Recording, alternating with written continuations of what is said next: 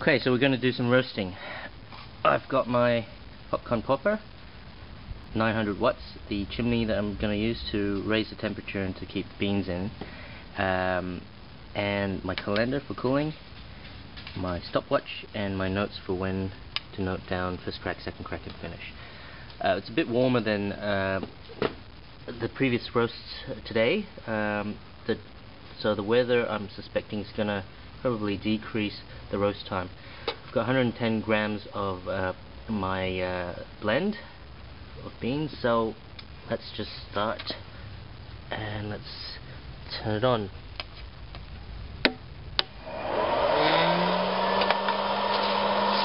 So you can see the chaff is already starting to fly out. For the initial minute or two I'm going to have to keep doing this the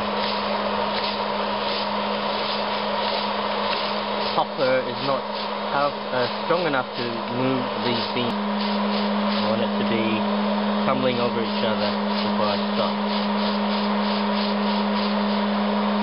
Now at this stage I might just add the chimney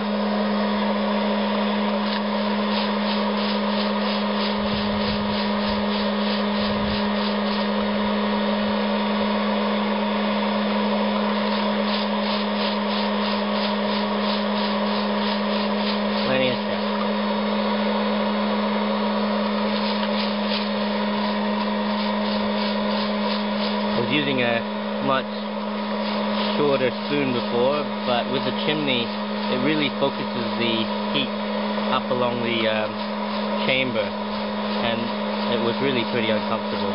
So I went out and got myself a long-handled wooden spoon, and that's doing a great job.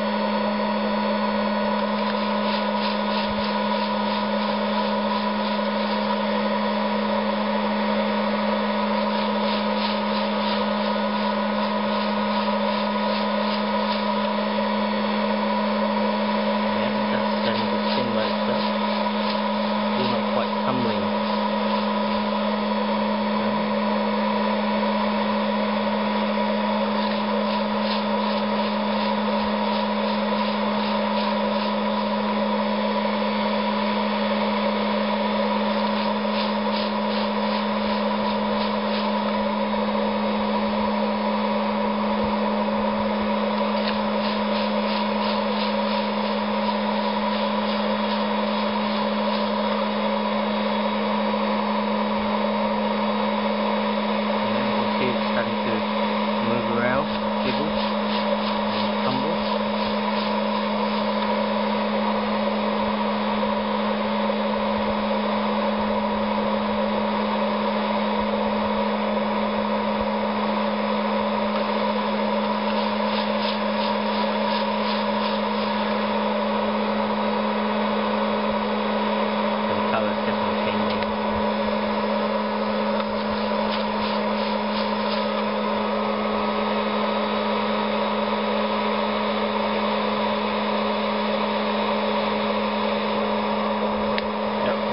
Crack. Let's check the time. And 3 minutes and 15 seconds. Write that down.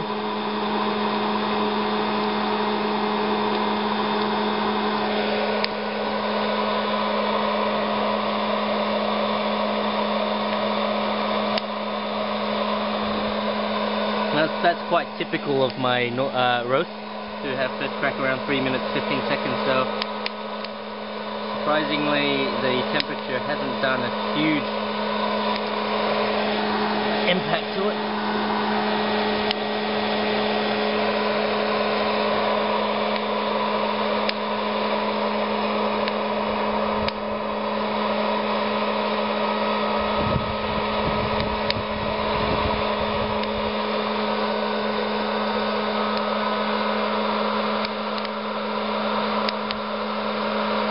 Expecting to finish uh, the roast around 8 minutes 20 seconds or thereabouts.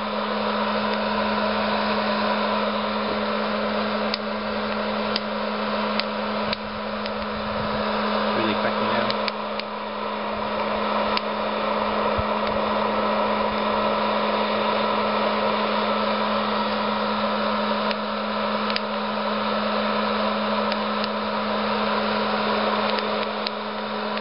fairly windy today, so that might be compensating for the heat, uh, the warmer temperature and resulting in a, a, a similar roast profile.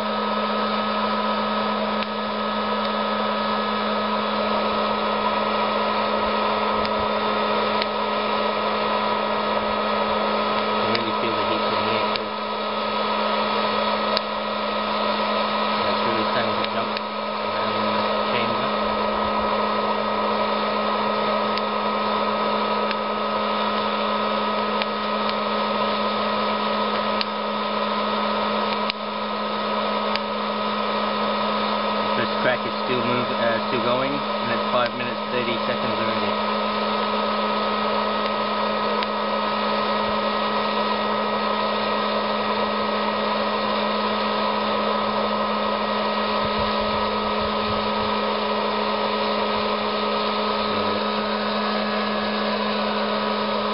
Looks like first crack finished at 5 minutes 40 seconds.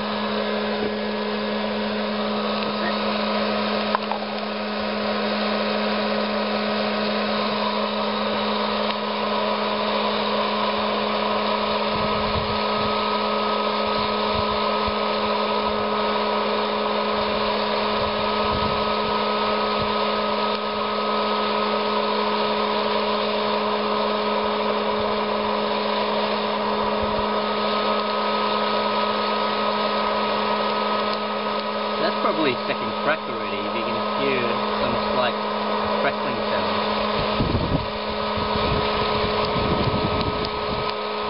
So, it, I'm gonna probably stop it.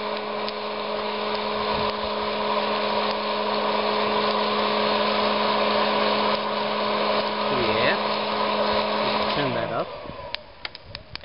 Start to pour in.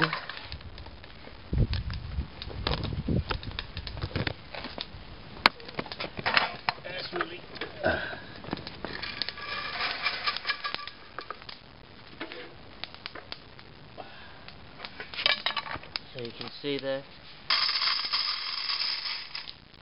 still crackling. So I'm going to cool this down, turn this off.